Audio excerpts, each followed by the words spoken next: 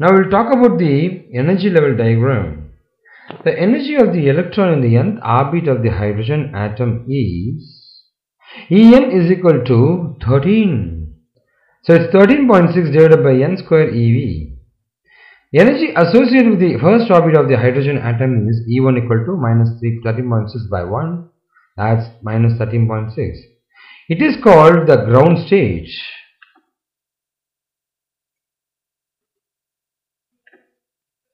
From any other outer orbit to first orbit that's Lyman.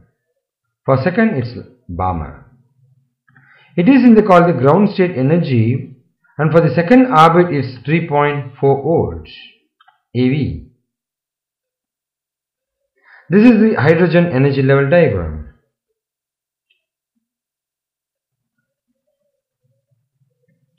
As indicated, the energy of the second, third, fourth excited state of the hydrogen atoms are E3 it's minus 1.51, E4 is 0.85, E5 is 0.54.